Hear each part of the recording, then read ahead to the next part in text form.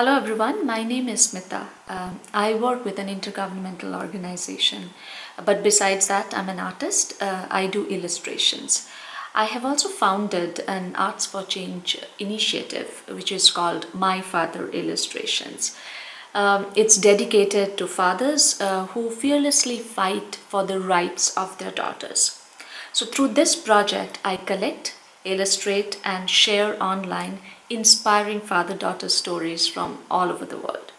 Without digital technologies, I think my work would have been incomplete.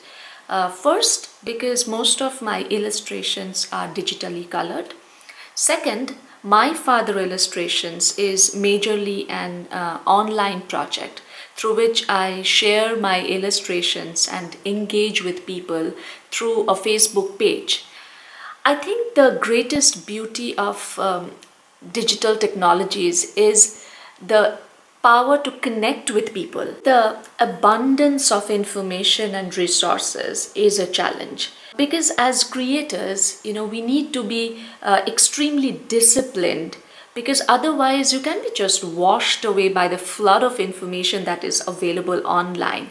And end of the day you will just uh, end up seeing at too many things and actually doing nothing. The other challenge is the risk of copying and theft because your work is out in the public domain and anybody with a polluted mind can actually uh, steal it or abuse it so in that case, I think it's very important to know what uh, what are your copyrights, your intellectual property rights, and how best you can protect your work, which is available online. The theme for the World IP Day, Digital Creativity Culture Reimagined, I think it's it's a very timely and relevant topic. As an artist, you need to constantly learn and grow.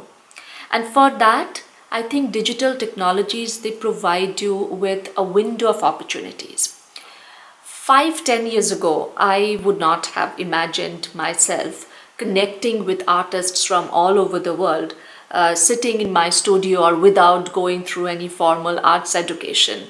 But today it's a reality. I mean, I'm living it every day.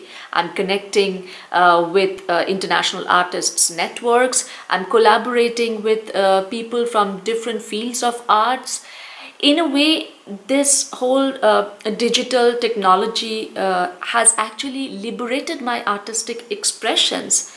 And I think that's incredible.